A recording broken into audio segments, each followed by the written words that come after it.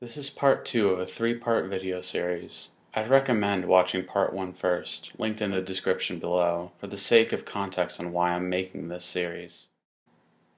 The morning of July 20th, I, like many other Linkin Park fans, were excited to see the release for the new music video for the song Talking to Myself. I absolutely loved the video and continued on with my day. Until I saw Chester Bennington trending on Twitter. My immediate thought was this was just another celebrity death hoax to get people riled up. But then I had this awful feeling in my gut. And then the fan sites I follow started tweeting. And I lost it. I wanted to still be in denial. Then almost immediately I had people messaging me on Twitter and Facebook. People who I hadn't talked to in years because I had always prided myself in being the person my friends thought of when Linkin Park came on the radio. I was so desperately in denial, constantly refreshing Twitter over and over again. Please be fake. Please be fake. Please be fake. And then Mike.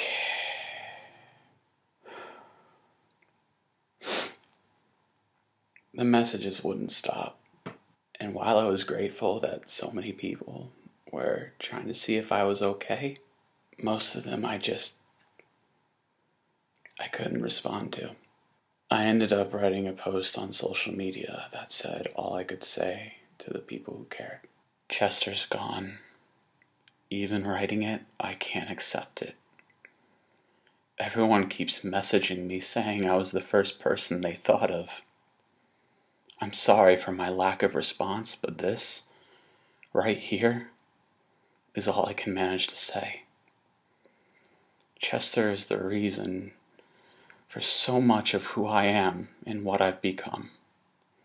Chester is the reason I met my girlfriend Alyssa seven years ago. Chester is the reason I gathered the courage to move halfway across the country to be with her. Chester is the reason I'm alive. I was able to tell him he saved my life the first time I met him. I was able to tell him what his music did for me in mourning for my father the night he did the ALS Ice Bucket Challenge, the last. I only met him three times, but every time I did, my life was impacted. Linkin Park's music helped me become open minded to so many different genres in the industry to the point where I no longer believe genre matters at all. Linkin Park's music taught me empathy. There is a reason I have his signature tattooed on my arm.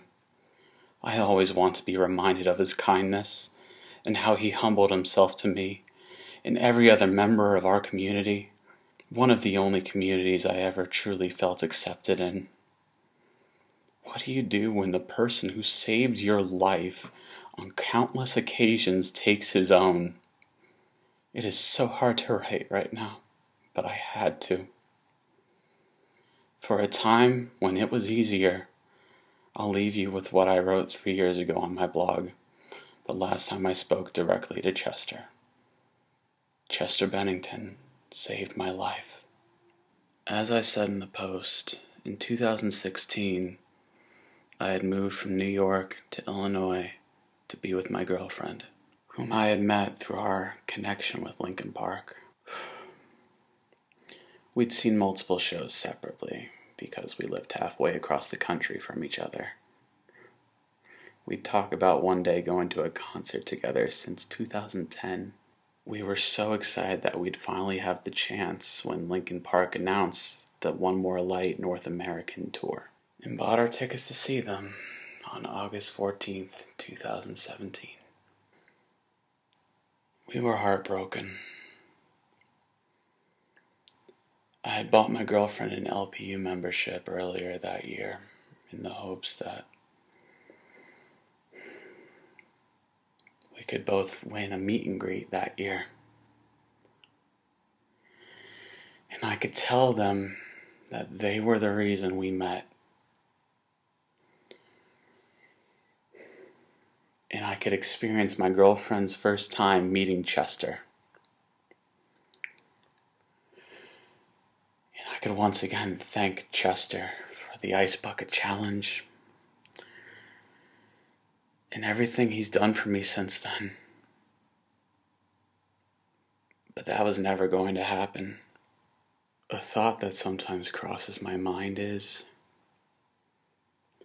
I don't know if I would have gotten through Chester's passing if I hadn't moved halfway across the country to be with my girlfriend. Which was because of Linkin Park in the first place. I had experienced a lot of death since my father died, but none had hit me as hard as Chester's passing did since then. I know I wasn't the only one feeling this way, though. The whole damn world was mourning. Tributes were being made all over the world. I'd never seen anything like it. So many people gathered and celebrated this man who lifted them up just as he did for me. Linkin Park eventually released this message to the fans in Chester. Dear Chester, our hearts are broken. The shockwaves of grief and denial are still sweeping through our family as we come to grips with what has happened. You touched so many lives, maybe even more than you realized. In the past few days, we've seen an outpouring of love and support, both public and private, from around the world. Talinda and the family appreciate it and want the world to know that you were the best husband, son, and father.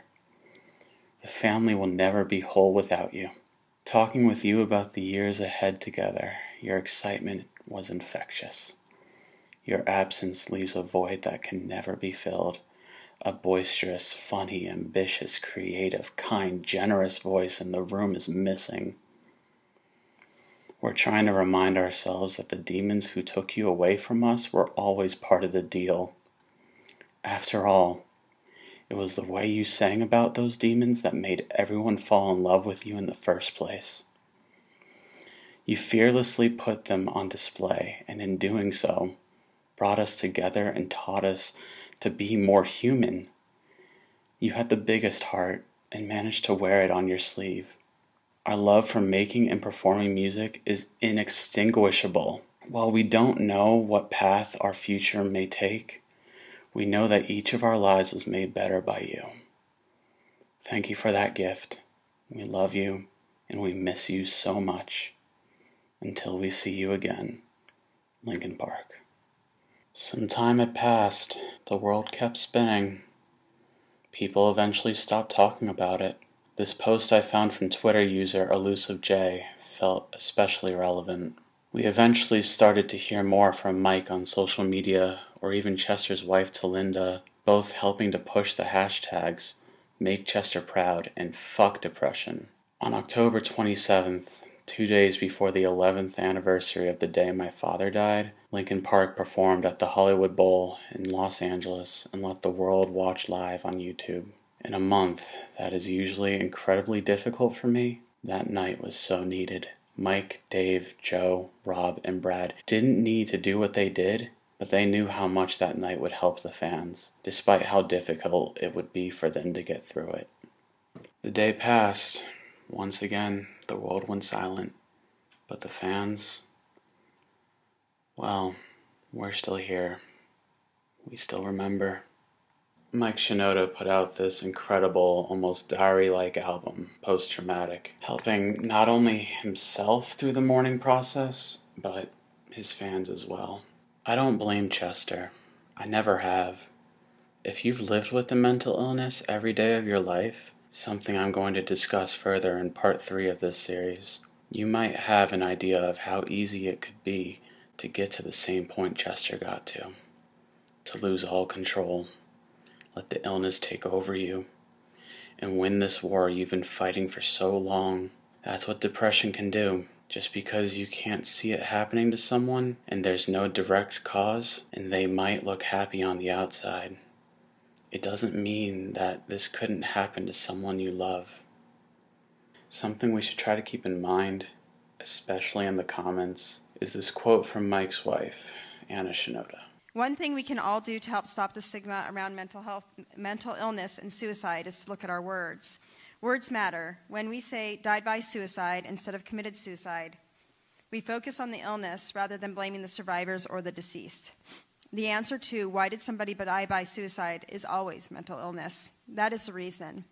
And if we can start there, we can move forward not only to prevent more suicides, but to help more people find mental health. Chester once said, There is something about that one kid who got there early, got his tickets first, and ran up to the barricade and waited all day to scream as if they were in the band. I remember being in that place, looking up at my heroes. There is nothing better than being that for somebody. You were Chester. And I can't thank you enough for that.